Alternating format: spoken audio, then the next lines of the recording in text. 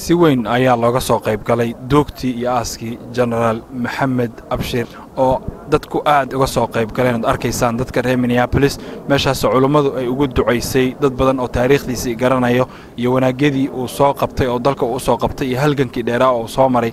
Intaba xasuusto ayaa joogay oo odayaalah kuwo badanna waxa ay maqleen oo akhristeen taariikhdiisa reer minneabolis si weyn ayay uga soo qayb galeen maanta duugtan waxaana insha allahu loo dardaarmay khayr badan waxaana loogu duceeyey goobta iyagaoo imaamyadii masaajidda ay imaadeen ayna ka soo qayb galeen. Halkaasi waxaa ka mid ahaa dadki joogay sheekh bashiir sidoo kale sheekh nuur haadi sheekh cabdirasaaq xaashi iyo sidoo kale waxaa ka soo qayb galay sheekh xasan jaamici oo intaba ka hadlay arrintaasi iyo dardaaran ay dadka ula dardaarmeen in gadaashiisa la sugnaado oo dadka khayrkii u horseeday oo uu qaban jiray sidoo kale la sii wado loona dardaarmay dadka oo dhan. Waxaan leenahay allaahuma akfir lahu. Allaahuma arxamhu allaahuma arxamhu allaahuma tajaawaz canhu. Allaahuma in kaana muxsina fazid fii ixsaanih wain kaana musii'an fatajaawaz canhu sayi'aatah yaa arxama araaximiin allaahuma ajcalhu fi lmahdiyiin allaahuma arfac darajatahu allaahuma nawir lahu qabrahu. Allaahuma wasic lahu mudkhalahu. Ilaahay oo meesha aan gelinay u waasici ilaahu u waasici ilaahu u nuuri ilaahu su'aasha ku sug ilaahu su'aasha ku sug hadda waa la su'aalayaa walaalkiina ilaahay su'aasha ku sugo. Ilaahay qowlka haabitka ah allaha ku sugo. Ilaahay adduunka sidii loogu arkay inuu ku sugnaa oo tukanayo oo cibaadaysanayay su'aasha qabriga allaha ku sugo. Intaas kadib ikhwaani innaga cibro waxaa noogu sugan inaan u diyaargarowna halkaas waxaa dhici karta rag badan oo naga mid ah inay jiraan oo aan godka xasuusnayn. Qaar badanoo naga mid ana inay murugo ku hayso. Waxaa la rabaa godka inaan ka fakero oo aan ka murugoonno oo wax badan oon samayn lahayn aan godkaa darti uga tagno. Wax badan oon samayn lahayn inaan godkaa darti uga tagno oon uga gaabsanno. Salaada in lagu dadaalo. Camalka ugu weyn oo qofka uu alla u hormarsada waa salaada waa addoonka xiriirka iyo alle ka dhexeeya weeye. Xarigaasu hadduu go'o alle agtiisa naxariis kuma taallo. Xariggaa hadduu go'o alle agtiisa naxariis kuma taallo. Marka aan ku dadaalo kelimadeenna allaha jamciyo anugu waxaan ku khatimayaa keliya ducadaas aan u ducayna si qalbi ah. Ilaahay maanta inuu iska cafiyo waa miskiin. God baan gelinnay ciid baan ku shubnay qabowgaa aan taagnaan la'ay baan hoostiisa marinay ehel wax uma tarayo oo qaraab wax uma tarayso oo magac wax uma tarayo oo maal wax uma tarayo. Xataa magaciisi waan ka qaadnay. Hadda ma dhahayno xaaji maxamed lama dhahayo.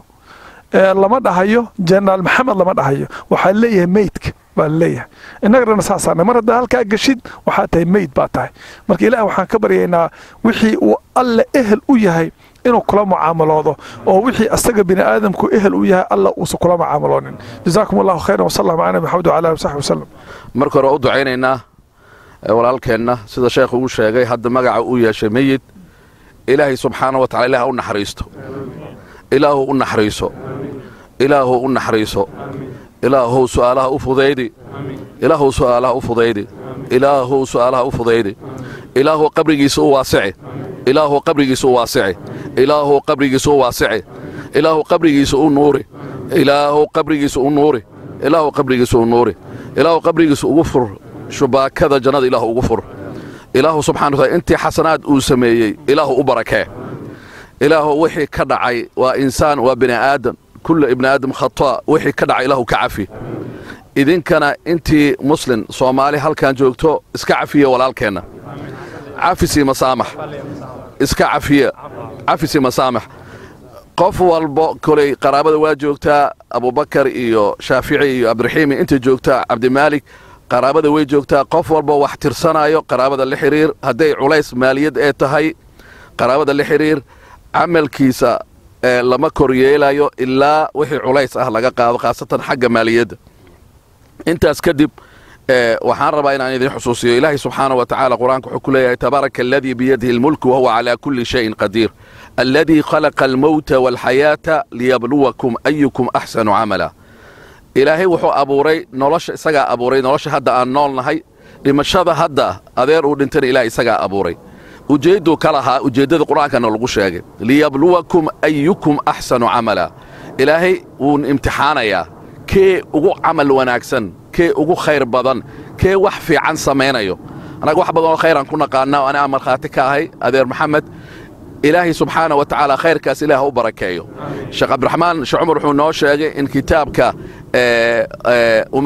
kutubta ummahaatu sita inuu la akhristay. Taas khayr ay tilmaamaysaa. Taariikhda dadkii hore u yaqiinay markii burburkii dhibka u dhacay wuxuu raadin jiray xal xalkaasna anaa goobjoog ka ahaa soomaali inuu ku midowdo kitaabka ilaahay subxaana wa tacaala wax kaloo noo haray ma lahan. Waa kitaabka ilaahay subxaana wa tacaala walaalayaal waxaan ku soo gabagabaynaynaa maxaan ka qaadanaynaa oo duruus ah. Markaas kadibna iyadoo kooban there are many young people who are here. I want to translate shortly in english so to benefit those youth. Maxaan ka faa'idaysanaynaa laba shay keliyaan ku soo koobayaa. Soomaali waa dhibaatootay. Waxaan rabnaa quluub midaysan sababtoo ah quluub midaysan oo nadiif ah sababtoo ah lama aqbalayo meeshaan u soconno gurigaan u soconno fiisaha lagu gelaayo jannada waa hal keliya.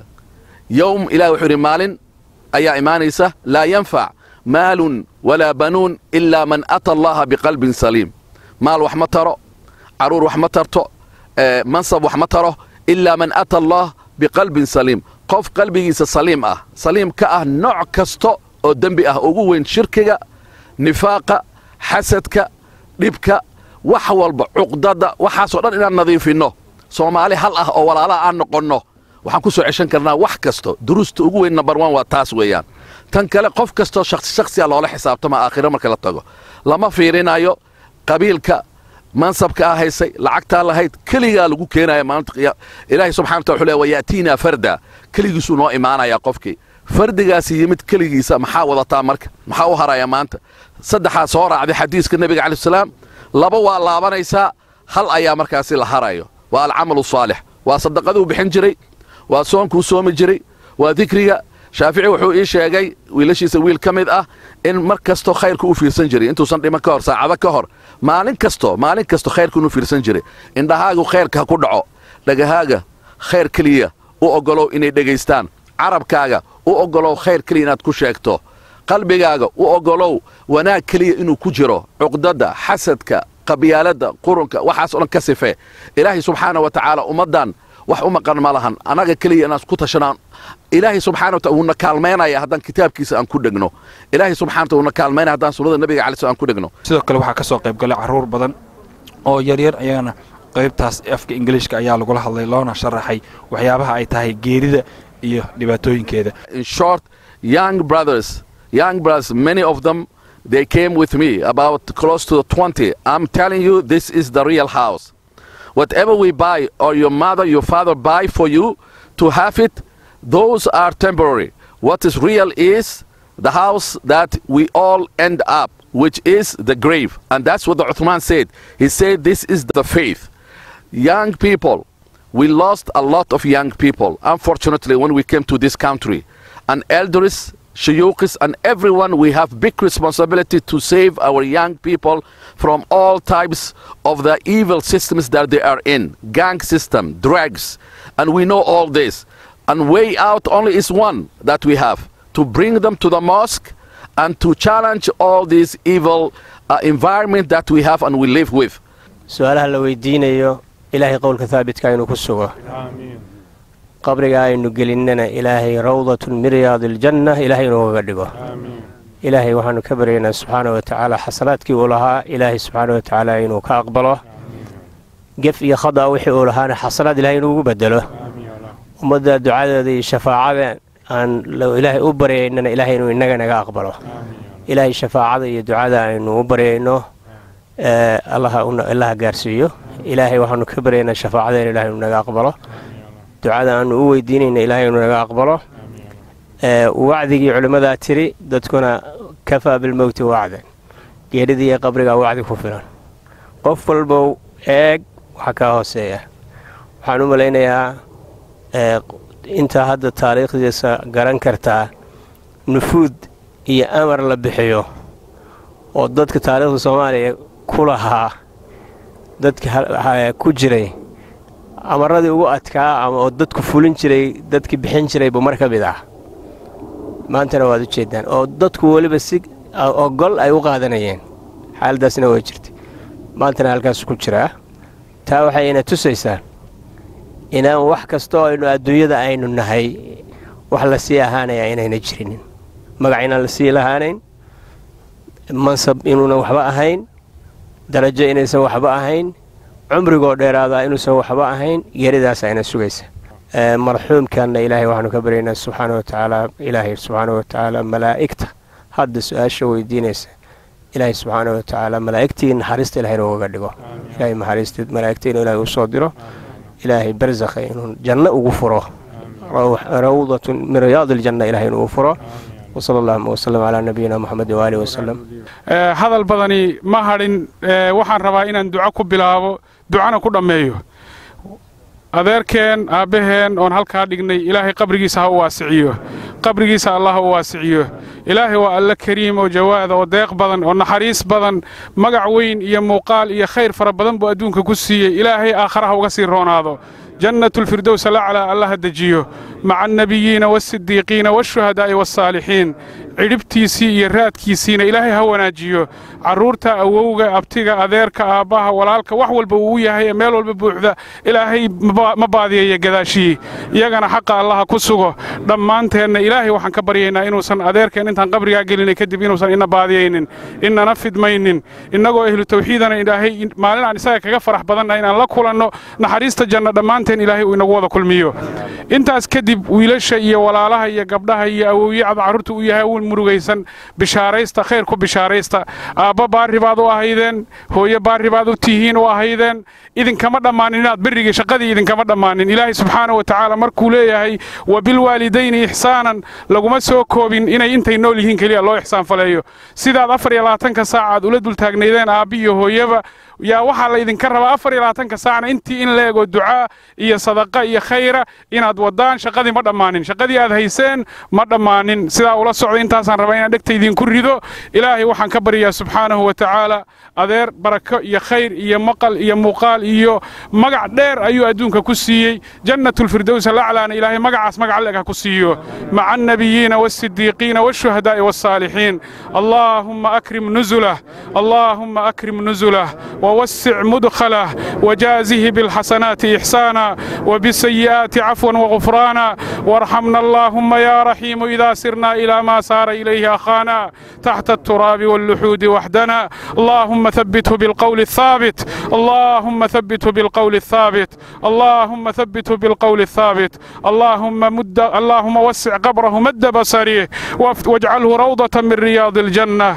يا رب العالمين. يا أرحم الراحمين. muslimiin wsal allaahuma calaa nabiyina muxamedi wacalaa aalihi wasaxbihi wasalim waxaa ila joogo cabdiraxiim maxamed abshir oo wiilkii uu dhalay ah oo nagula sugnaa goobtan hadda ee lagu aasay allaha u naxariista ee adeer waxaana weyddiiyey ugu horrayntii in uu dadka soomaaliyeed u sheego waxyaabo ka mid ah taariikhdiisii iyo weliba sida uu dareemaya بسم الله الرحمن الرحيم والحمد لله والصلاة والسلام على رسول الله سيدنا محمد وعلى آله وصحبه وسلم وعلى السلام يا كل جين أب الله نحرسته جنة الفردوس الأعلى بجوار نبينا محمد صلى الله عليه وسلم الله حقي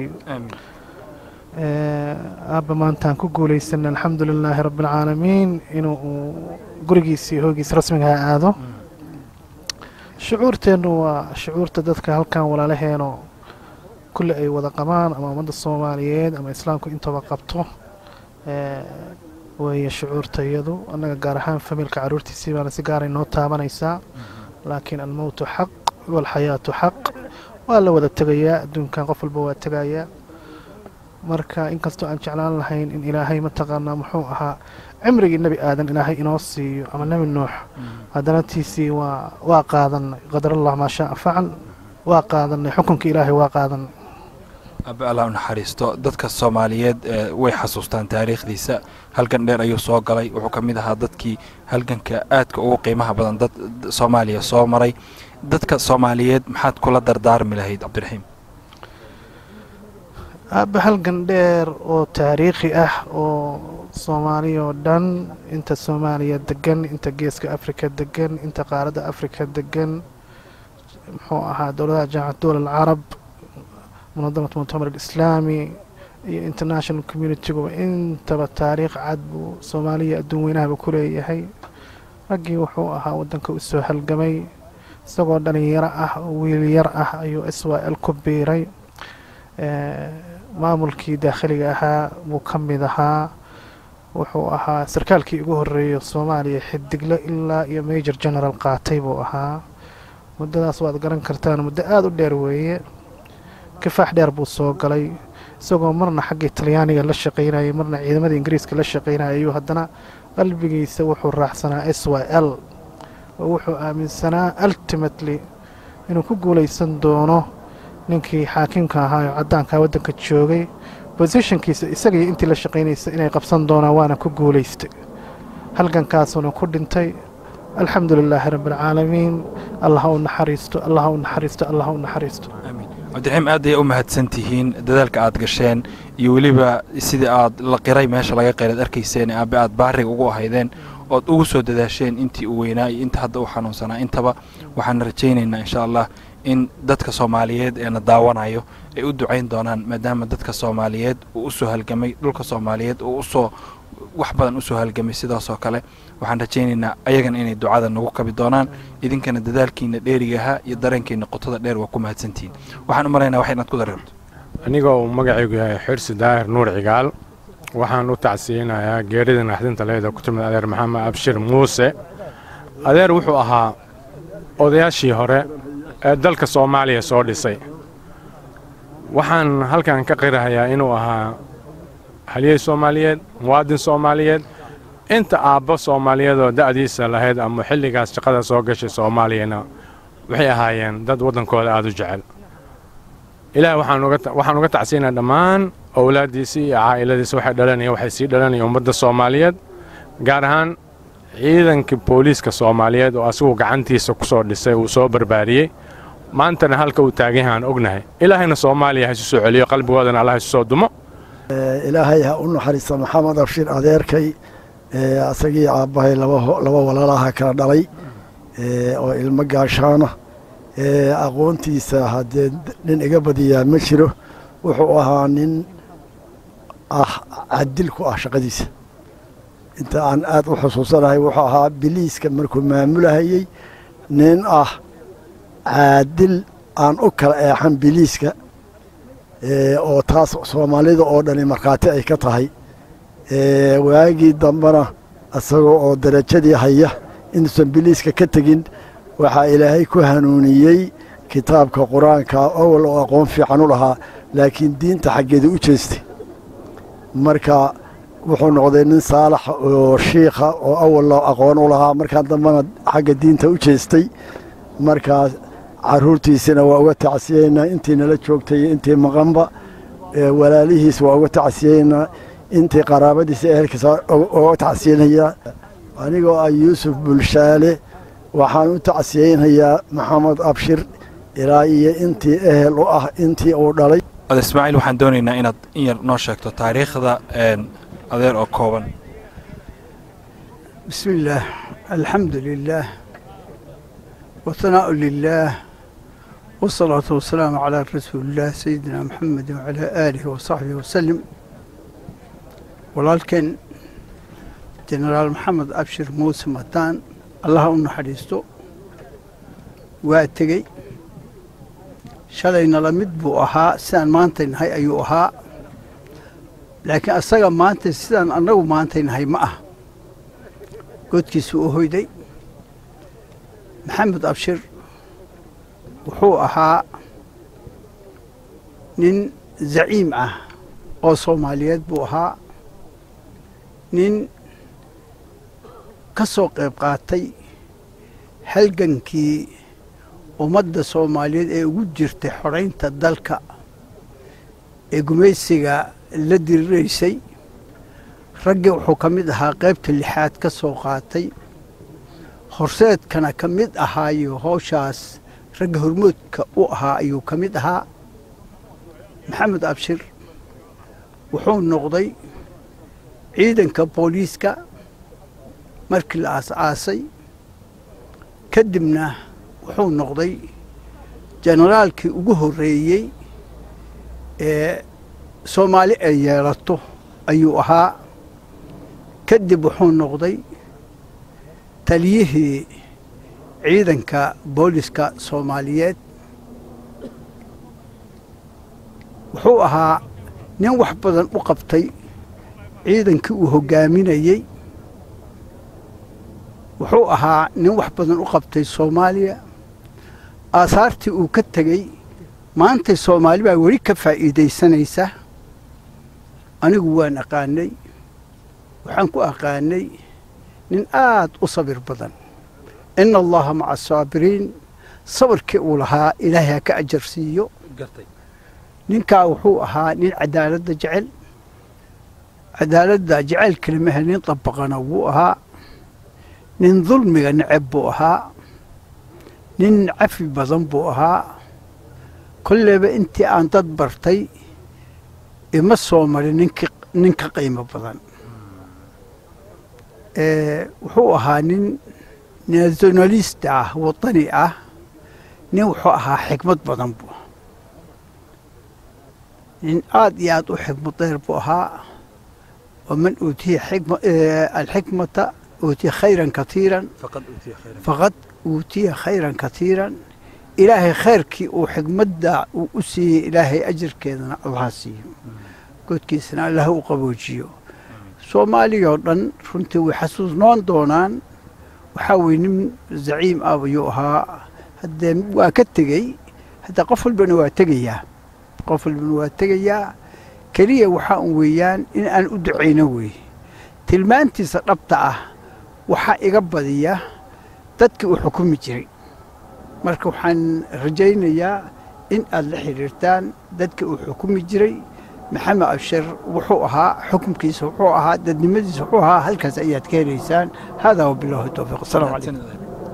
dadkii soo xaadiray qubuurahan iyo weliba aasitaanka maxamed abshir ayaa ahaa dad aad u qiiraysan. In badanoo ka midana waxa ay garanayeen taariikhdiisa iyo sifaadka lagu tilmaamayo ay ka mid ahayd cadaaladda kartida waxtarnimada iyo sida soomaalinimada iyo wadaninimada ay ugu weyn tahay dadka soomaaliyeedna. Gebigood uu isku si u wada jeclaa soomaaliya iyo dadka soomaaliyeedba waxaa ka baxay shakhsi culus oo caadilah oo dadka soomaaliyeed aad u jeclaayeen. Waxtarkiisii iyo ruuxa uu ahaana ay xasuusan doonaan in badan oo ka mid ah. Maxamuud dulyadeen dalka maraykanka